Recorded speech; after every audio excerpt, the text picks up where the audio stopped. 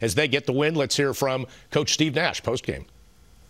Coach, what did it take down the stretch, you know, fourth quarter, And then of course going into overtime to hold this Atlanta team off?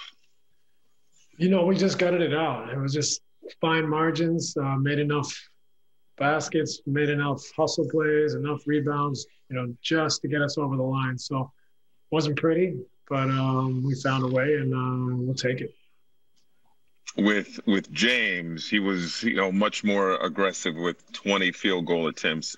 Is this something that you continue to talk to him about? Obviously, he's been in facilitator mode in these first few games with the big three together. But uh, how much in, have you guys been encouraging him to be aggressive and look for his?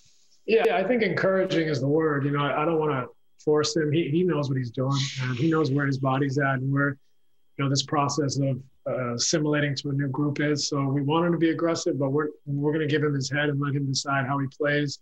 Um, but we definitely love it when he's aggressive, and there's some tough matchups out there um, for him. And uh, he got going at, at, an important time, and uh, and we found a way to get it done somehow.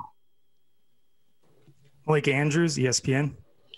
Steve, I, I, think this is the third game consecutively you've had the same starters, and you guys haven't started the same group more than four times consecutively this season. Do you feel like you're starting to get towards a groove where this may be the core that you want to move forward with for your starters and then start to figure out that bench rotation? Yeah, it's getting there. I mean, I, am hesitant to say that just because tomorrow it'll be something else. You know, it'll be a COVID protocol or, uh, you know, something, something will happen and we'll be back to mixing it up. But I think we have to stay flexible and stay ready at the same time. You know, I, I like where we're going with it. Um, you know, by no means are we set on this, but right now it feels pretty good. Christian Winfield, New York Daily News. Hey, coach, you guys had 23 points, uh, well, 23 fast break points tonight, um, including one play in overtime. I think Joe gets that strip, and then the ball gets to James, gets right up court to Jeff for the dunk. Um, is that part of the reason why you guys want to really hammer down on this defense? Obviously, yes, you want to stop guys from scoring, but does it unlock another layer for you guys to get out and transition and get some easy buckets?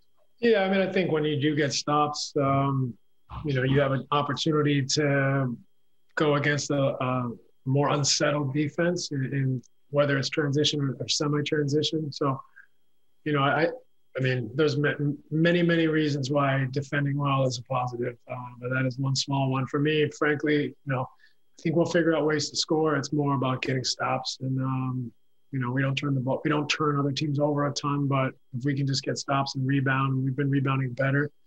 Um, you know, we'll be in good shape. Brian Lewis, New York Post. Hi, Steve. Uh, when you talk about uh, you know James's aggression level and you trust him to make the correct decisions. I'm curious if you've noted his con- his conditioning as we've gone make dramatic improvements, or is this just a matter of him getting in better chemistry and in better sync with his teammates late in games?